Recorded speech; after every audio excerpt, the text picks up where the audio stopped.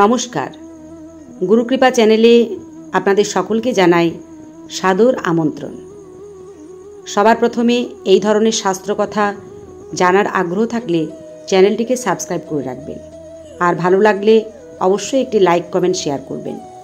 জয় গুরু। শিব ও পার্বতী পুত্র গজানন। গণেশজি হলেন আমাদের বুদ্ধি ও সমৃদ্ধি সৌভাগ্যের সর্বোচ্চ দেবতা।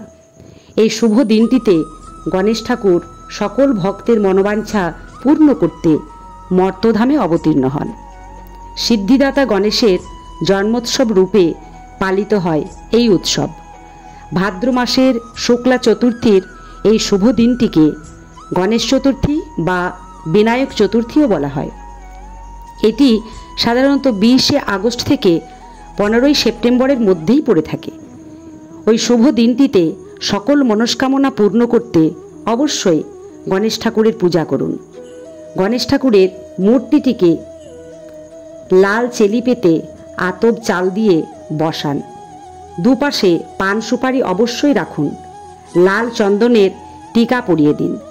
লাল রঙের জবা ফুল, একুশটি দুর্বাঘাস দিয়ে পূজা করুন। ওং গাং গণেশায় নম বলে। লাড্ডু বা মোদক হচ্ছে গণেশজির খুব প্রিয়।